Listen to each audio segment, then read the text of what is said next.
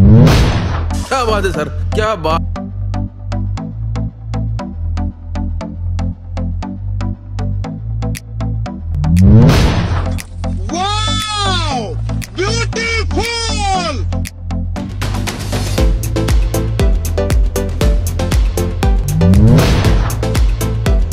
रुको जरा। सबर करो। बोला धक्का मुक्की नहीं करने का आराम से लेने का। हाँ।